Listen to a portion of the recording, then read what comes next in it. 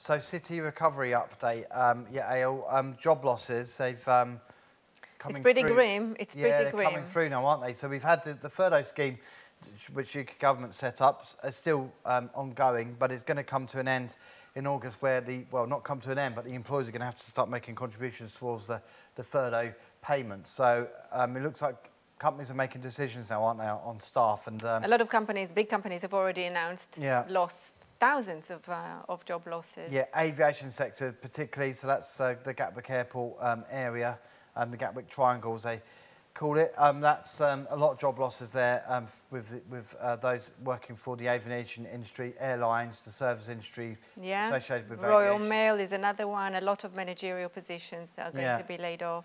So what do you think about the future? And do you think we kind of almost need like a massive job creation scheme, which is going to be government-led? Because we're going to see like um, tens of thousands of people being made unemployed. The unemployment rate's going to get higher. Um, any ideas? Uh, no, not really. And I'm quite pleased that I'm not uh, in a position to, to come up with ideas because it is going to be grim. Yeah. You know, it's not, it's, uh, we all knew and that it was going to be a difficult uh, kind of come back to some normality. But uh, but yeah, the furlough scheme uh, worked very well in some ways, but it was a sort of, it has been a kind of unrealistic, um, you know, kind of um, yeah. position to, to, to be put in for so many people and for the government to have to cough up so much of, of the money. And now um, a lot of people will have to be, um, you know, be left without jobs. Um, I mean, to think about EasyJet, for example, I mean, yes, of course the tourist industry is one of the hardest hit, but one, every, one in every three pilots, I yes. think, is going to be um, yeah, made, redundant. Um, obviously, the high street um, retail, I think they, they're talking about you know, massive reduction in, they call it passenger kind of um, movement or travel, yeah. you know. Yeah, someone will have to, to think very hard.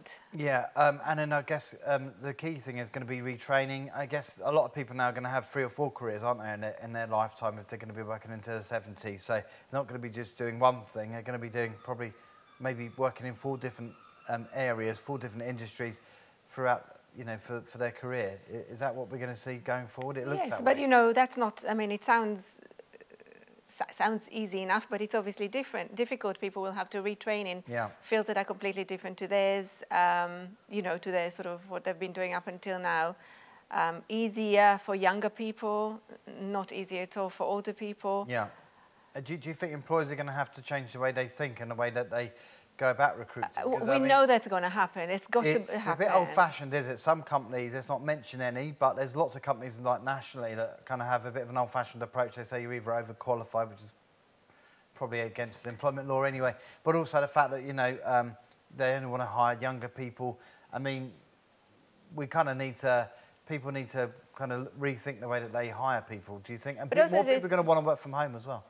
Well, more people yeah. will have to work from home as yeah. well. Uh, the office is not going to be what it was before. We know that already. A lot of companies have actually realized that perhaps premises are not as important as they thought. The whole online industry is completely booming because so much of the workforce has been moved to online. And, and a yeah. lot of companies have actually invested in a lot of online infrastructure. So that's, that's not going to uh, go out of the window.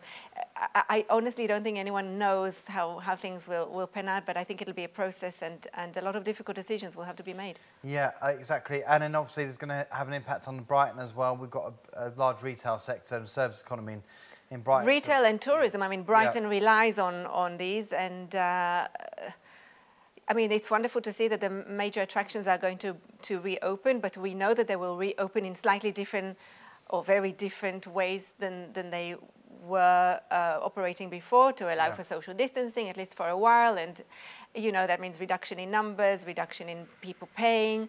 Um, Brighton and Hove will be very different economically. There's no doubt about that for a long time. Yeah, um, good news is, of course, is that some of our attractions, including the Brighton Palace Pier, they are actually recruiting for to come the summer season. So that, that's good news. So some people are recruiting, but uh, it's mostly, um, you know, a, a, sad story, isn't it? But there are there is some light at the end of the tunnel. Yeah, for, for some, I mean the Palace Pier. Obviously, that's that's a, it is a seasonal. Yes. And very yeah. young person-oriented yeah. um, industry in in the summer. So yes, that's wonderful that it's happening. It's yeah.